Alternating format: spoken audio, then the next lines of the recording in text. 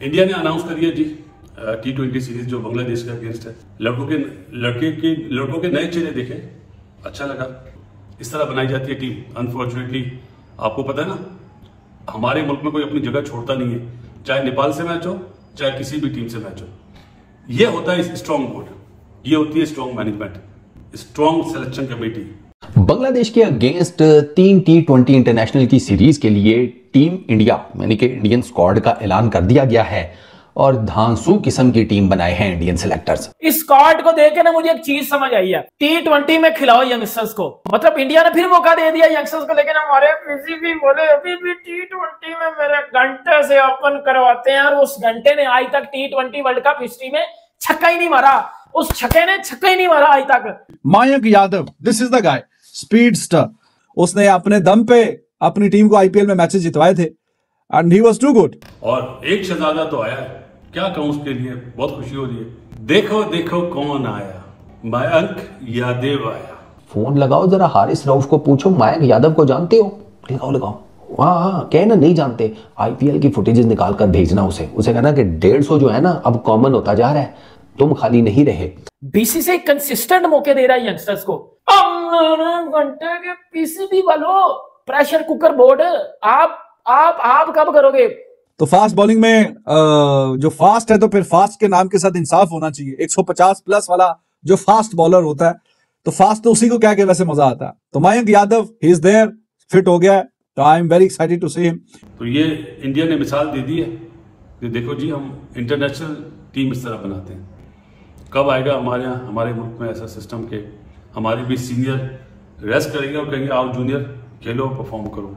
नमस्कार दोस्तों, जय हिंद। दोस्तों, कल रात बीसीसीआई ने बांग्लादेश के खिलाफ भारत के यंग टी ट्वेंटी स्क्वाड का अनाउंस कर दिया है, जिसमें आप देखेंगे कि यंग प्लेयर ज़्यादा है और पहली बार हमको मयंक यादव हमारे स्क्वाड में देखने को मिलेंगे। और आईपीएल में मयंक यादव ने कमाल का प्रदर्शन किया था, ये तो सभी जानते हैं। 150 के रेगुलर स्पीड में वो बॉलिंग करते रहते हैं। हालाँकि वो इंजर्ड हो गए थे, लेकिन उसके बाद वो आकर फिर से खेले। और इनको मतलब मयंक यादव को, अब हमको इंडियन कैप में देखने को मिलेगा, जो कि बहुत बड़ी बात है। मयंक यादव के लिए भी बहुत बड़ी बात है कि गौतम गंभीर की उनके ऊपर एक ट्रस्ट है कि वो अच्छा करेंगे और उनको करना भी चाहिए।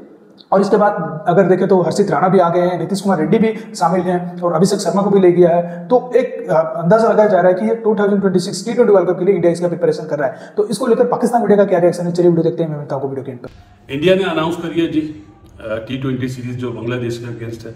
लड़कों के, लड़के के, लड़कों के नए चेहरे देखे। अच्छा लगा। ये इंडिया ने जो टीम बनाई है ना, ये 2026 का जो वर्ल्ड कप है ना, उसको देखते हुए बनाई है। इसीलिए आपने देखा जसवाल भी नहीं है इसमें इसमें गिल भी नहीं है। मैं बुमराह की तो बात ही नहीं कर रहा, जडेजा अक्षर पटेल, इनकी तो बात ही नहीं कर रहा। अय्यर भी नहीं है। टीम बनाई वो लड़के जो देखना भी चाह रहे हैं उन्हें और अपने होम ग्राउंड पे फुल इंश्योरेंस दे रहे जाओ खेलो। इस तरह बनाई जाती है टीम अनफॉर्चुनेटली आपको पता है ना, हमारे मुल्क में कोई अपनी जगह छोड़ता नहीं है। चाहे नेपाल से मैच हो चाहे किसी भी टीम से मैच हो।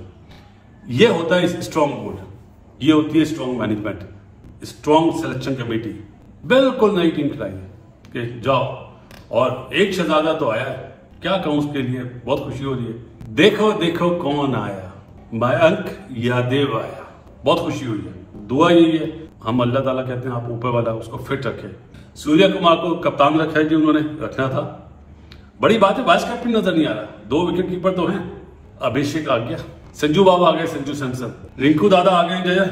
रिंकू दादा, हार्दिक पांड्या है, ये रियान पराग इसके लिए भी सीरीज़ है। नीतीश कुमार रेड्डी, ये ये आया आईपीएल का बच्चा ऑलराउंडर इसके बाद शिवम डुबे है वाशिंगटन सुंदर, रवि बिश्नोई, ओहो। जितीश है इसमें, जितीश शर्मा सेकंड विकेट पर। अर्शदीप है, हार्षिक राणा और मयंक यादेव ये टीम अच्छी बनाई है जी। ये सोच अच्छी है। लेकिन ये टीम बढ़िया बनाई है। और हमारे सकलन भाई हज़रत ने कहा था कि हम इंडिया को कॉपी करेंगे एज ए मेंटोर तो ये इंडिया ने मिसाल दे दी है कि देखो जी, हम इंटरनेशनल टीम इस तरह बनाते हैं। कब आएगा हमारे यहाँ, हमारे मुल्क में ऐसा सिस्टम के हमारे भी सीनियर रेस्ट करेंगे और कहेंगे, आओ जूनियर खेलो परफॉर्म करो। बांग्लादेश के अगेंस्ट तीन टी ट्वेंटी इंटरनेशनल की सीरीज़ के लिए टीम इंडिया, यानी कि इंडियन स्क्वाड का ऐलान कर दिया गया है और धांसू किस्म की टीम बनाए हैं Indian selectors last but not least last नाम बड़ा इंटरेस्टिंग है, ये है मयंक यादव। फ़ोन लगाओ जरा, हारिस रऊफ को पूछो, मयंक यादव को जानते हो? लगाओ लगाओ। हाँ हाँ कहना नहीं जानते। आईपीएल की फुटेजेस निकाल कर भेजना उसे। उसे कहना कि डेढ़ सौ जो है ना, अब कॉमन होता जा रहा है। तुम खाली नहीं रहे।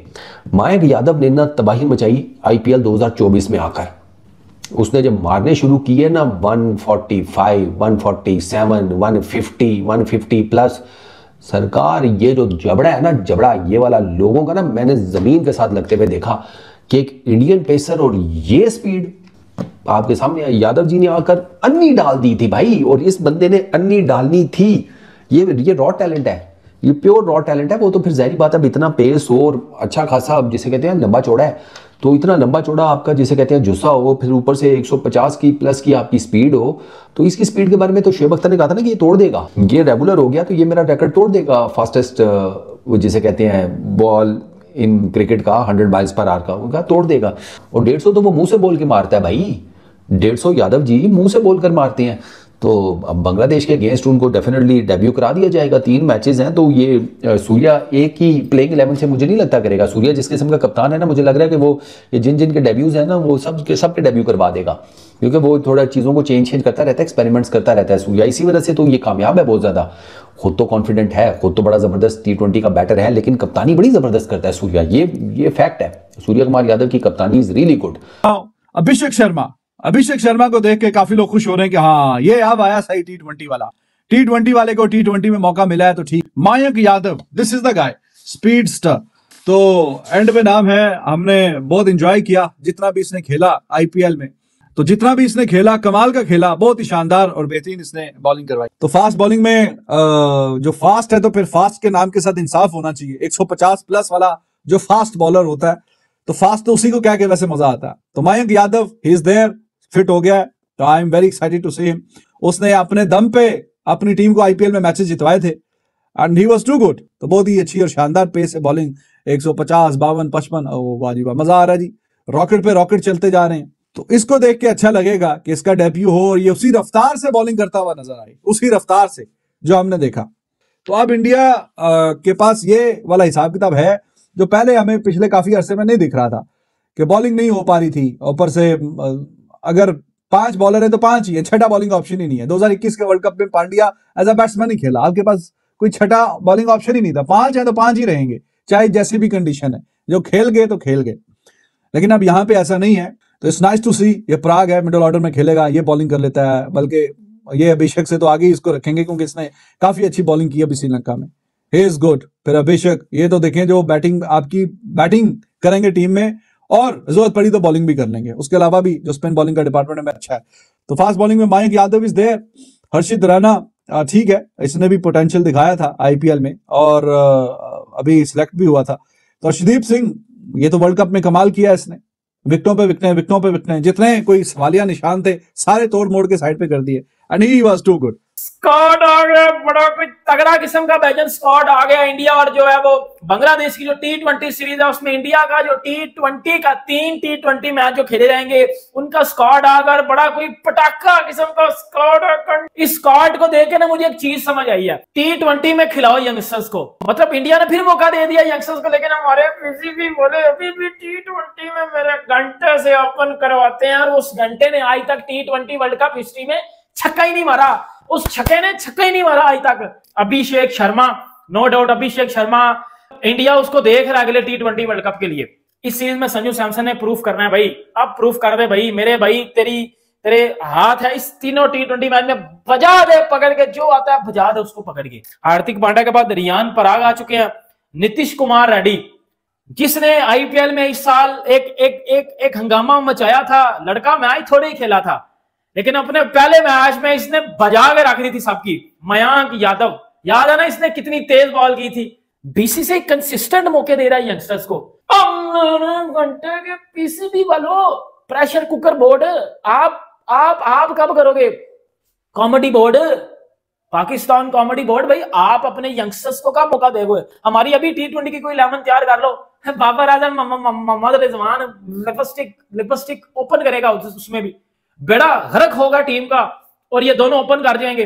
तो दोस्तों, जैसे कि आपने वीडियो में देखा कि टी ट्वेंटी स्क्वाड को लेकर पाकिस्तान मीडिया क्या कर रही थी? हालाँकि जो सारा टॉपिक था, वो मयंक यादव के ऊपर था, क्योंकि मयंक यादव की जो स्पीड है, उन, वो सबको अट्रैक्ट किए थे आईपीएल में उनकी तरफ़, और सभी बॉलर को वो ओवर शेडो कर गए कर गए थे। क्योंकि जो उनकी पेस है लिथल जो पेस कहा जाता है 150 के एबव और रेगुलर स्पीड में बॉल कर देना, वो एक मतलब कह सकते हैं कि कोई छोटी बात नहीं है। लेकिन मयंक यादव जिस तरीके से बॉलिंग कर रहे थे, उसके बाद इंजर्ड हो गए, फिर आकर बॉलिंग की आईपीएल में तो वो मतलब इंजरी के बाद उतना ज़्यादा परफॉर्मेंस नहीं रहा, लेकिन अब वो रिकवर कर गए और उनसे वही स्पीड हमको उम्मीद लगाना चाहिए कि भाई वही स्पीड के साथ वो बॉलिंग कर लें और उसके साथ साथ अगर देखें, उनको हर्षदीप सिंह का भी सपोर्ट मिलेगा हर्षित राणा का भी सपोर्ट मिलेगा। तो दोस्तों, इस वीडियो में इतना अगर वीडियो अच्छा लगा तो ज़रूर लाइक कर दीजिए। चैनल को सब्सक्राइब करके ऑल बटन ज़रूर दबा दीजिए, ताकि हमारे लेटेस्ट वीडियो नोटिफिकेशन आप मिस ना कर सके। मैं रुकता हूँ, जल्दी मिलूँगा नई वीडियो के साथ। तब तक के लिए जय हिंद बंदे